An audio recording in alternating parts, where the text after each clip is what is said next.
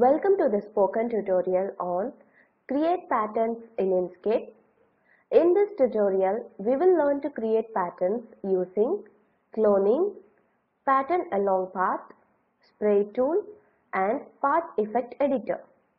To record this tutorial, I am using Ubuntu Linux 12.04 OS, Inkscape version 0.48.4. Let us open Inkscape. Click on the star tool and draw a star in the canvas. Now click on the selector tool. On the tool controls bar, change the width and height parameters to 40. Zoom in and click on the star once. Observe that the pivot point is visible now. It's the plus shape in the center of the star object. Click and move the pivot point far away from the star as demonstrated here. Now go to edit menu, click on clone and then on create tiled clones. A new dialog box opens up. You can find many tabs and many options under each tab. Under symmetry tab, we can see a drop down menu with various methods.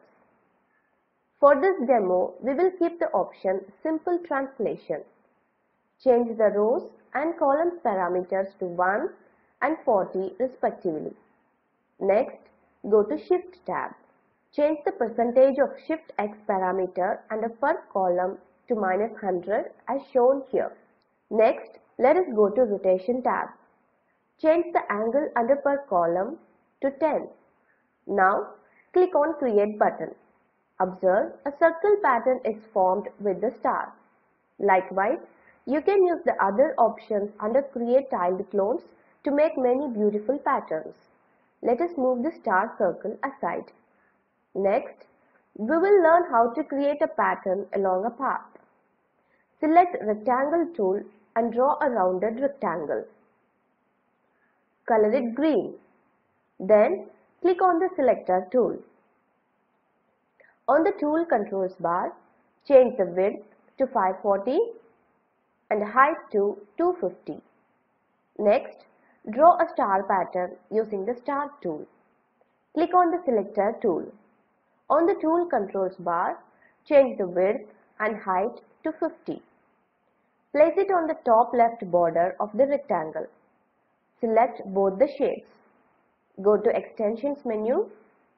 Click on generate from path and then on pattern along path. Change the copies of the patterns option to repeated and the deformation type option to ribbon. Click on apply button and close button. Observe a beautiful pattern is formed around border of the rectangle. Let us now create another pattern using path effects. Select Bezier tool and draw a wavy path. Go to Path menu, click on Path Effects Editor. A dialog box opens up. Click on Apply New Effect drop-down menu. Notice there are various effects listed here. Let me select Gears and then click on Add. Observe the change in the shape. Next, select Sketch and click on Add button. Observe the effect. In the Path Effect Editor, you can find various parameters related to the current effect. Let us change one of them, say strokes. Let us change it to 10 and press enter.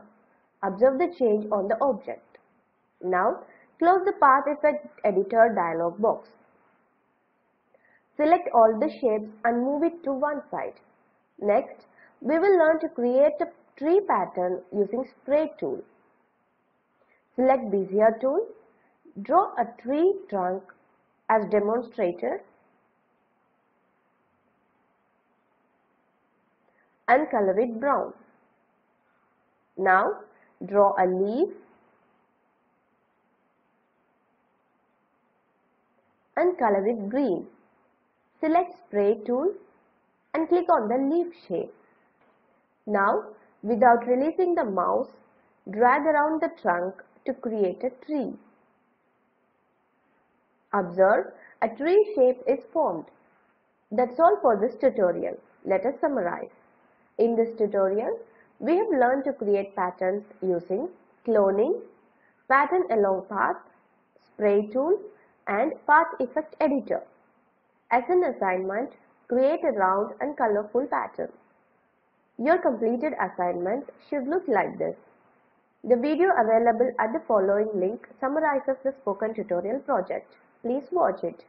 The spoken tutorial project team conducts workshops and give certificates for those who pass an online test. For more details, please write to us.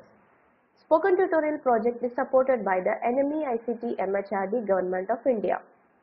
More information on this mission is available at this link. We have come to the end of this tutorial. This is Aarti and Saurabh from IIT Bombay signing off. Thanks for joining.